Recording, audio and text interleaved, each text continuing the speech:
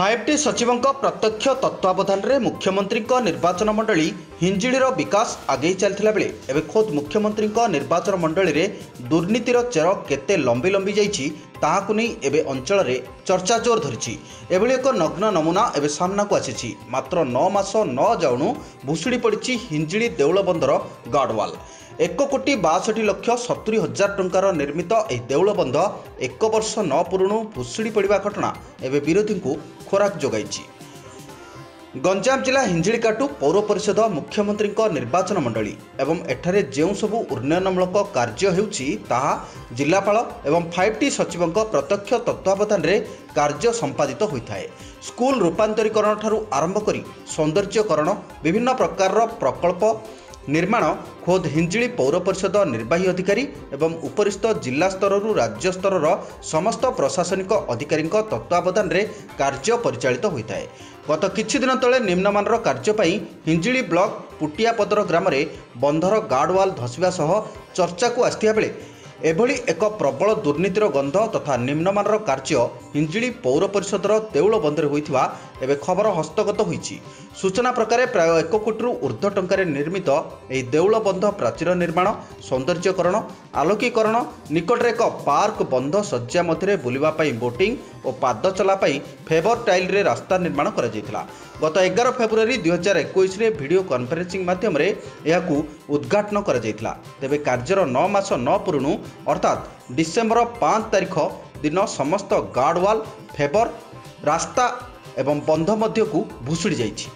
ମାଧବ ଗୌଡ଼ ଭାରତୀୟ ଜନତା ପାର୍ଟି ସାଙ୍ଗଠନିକ ଘୁମସର ଗଞ୍ଜାମ ଜିଲ୍ଲାର ଉପସଭାପତି। ଦିନକୁ ଦିନ ହିନ୍ଦୁଳ ସହର ଦୁର୍ନୀତିରେ ଗଳ ପାଳୁଛି। ଆପଣ କ'ଣ କହିବା ଉପରେ? ନିଶ୍ଚିତ ଭାବେ ଆପଣମାନେ ଦେଖୁଛନ୍ତି ମିଡ଼ିଆ ଭାଇମାନେ କେଉଁ ପ୍ରକାର ଏଇଠି ଅଫିସର ଆଉ ଠିକାଦାରଙ୍କର ମଧୁଚନ୍ଦ୍ରିକାରେ କାମ ହେଉଛି। କେମିତି ଏ ସହର ସୁନ୍ଦ- ସୌନ୍ଦର୍ଯ୍ୟକରଣ ପାଇଁ କୋଟି କୋଟି ଟଙ୍କା କେନ୍ଦ୍ର ସରକାର ମଧ୍ୟ ଦେଉଛନ୍ତି।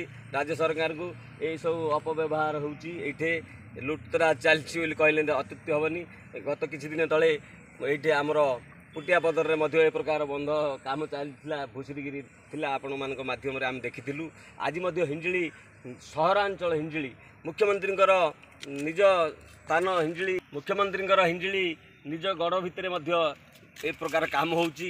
ଆଜି ଗୋଟେ ଅଫିସର ଆସିଲେ ତିନି ବର୍ଷରୁ ଅଧିକ ରହିପାରୁନାହାନ୍ତି। ଗୋଟେ ଜେଇ ଯେ ନା ଆମର ଏଇଠି ଅଛନ୍ତି। ମାନସ ରଞ୍ଜନ ଦାସ ଏବଂ ଆଉ ଜଣେ ତାଙ୍କର ସହଯୋଗୀ ଏମାନେ ଦଶ ବର୍ଷ ଲେଖେ ହେଲାଣି ଏଇଠୁ ଯାଉନାହାନ୍ତି। ତ କେଉଁ କବଚ ତାଙ୍କ ଉପରେ କାହାର ଆଶୀର୍ବାଦ ରହିଛି ଏହା ମଧ୍ୟ ଆମେ ଜାଣିବା ଦରକାର। ଦୁଇ ତିନି ଦିନ ପୂର୍ବେ ଆପଣଙ୍କୁ କହିଥିଲି ନା ଏକ ନମ୍ବର ୱାର୍ଡ଼ରୁ ଆରମ୍ଭ କରି ଏକୋଇଶ ନମ୍ବର ୱାର୍ଡ଼ ପର୍ଯ୍ୟନ୍ତ ଯାହା ଦୁର୍ନୀତି ଦୁର୍ନୀତି ହେଇଛି ତାହା ଦେଖେଇବି। ଆଜି ନଗ୍ନ ନମୁନା ଆପଣମାନେ ଦେଖନ୍ତୁ। ଏଇଠି କେଉଁ ପ୍ରକାର ଚାଲିଛି ଦୁଇ ନମ୍ବର କାମ ହିଞ୍ଜିଳି ପୌର ପରିଷଦର।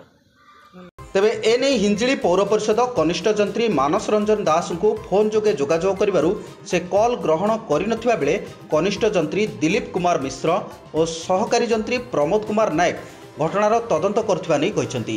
ଧସି ଯାଇଥିବା ଗାର୍ଡୱାଲ୍ କ୍ଷୁଦ୍ର ଜଳସେଚନ ବିଭାଗ ଦ୍ୱାରା ନିର୍ମାଣ ହୋଇଥିବା ଏକ ସ୍ୱୀକାରୋକ୍ତିରେ ସହକାରୀ ଯନ୍ତ୍ରୀ ନାୟକ ପ୍ରକାଶ କରିଛନ୍ତି। ବିକାଶ ତଥା ସୌନ୍ଦର୍ଯ୍ୟର ପ୍ରୟୋଗଶାଳା କୁହାଯାଉଥିବା ଏହି ଦେଉଳ ବନ୍ଧକୁ ଓଡ଼ିଶାର ଶହେ ଦଶ ବିଧାୟକ ଉଚ୍ଚ ପଦସ୍ଥ ଅଧିକାରୀ ଦେଖି ପ୍ରଶଂସା କରୁଥିଲେ। ଏବେ ଏହାର କାର୍ଯ୍ୟଶୈଳୀକୁ ନେଇ ଉଠିଛି ପ୍ରଶ୍ନ।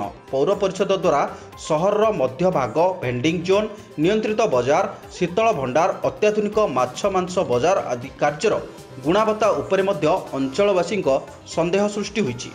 ମୁଖ୍ୟମନ୍ତ୍ରୀ ଏହାର ତଦନ୍ତ କରି ସମ୍ପୃକ୍ତ ପଦସ୍ଥ ଅଧିକାରୀ ଓ ଠିକାଦାରମାନଙ୍କ ମଧୁଚନ୍ଦ୍ରିକା ବିରୋଧରେ କାର୍ଯ୍ୟାନୁଷ୍ଠାନ ଗ୍ରହଣ କରିବେ କି ବୋଲି ପ୍ରଶ୍ନ କରିଛନ୍ତି ବିରୋଧୀ। ଗଞ୍ଜାମରୁ ସୁଶାନ୍ତ ପଟ୍ଟନାୟକ ସକାଳ ଖବର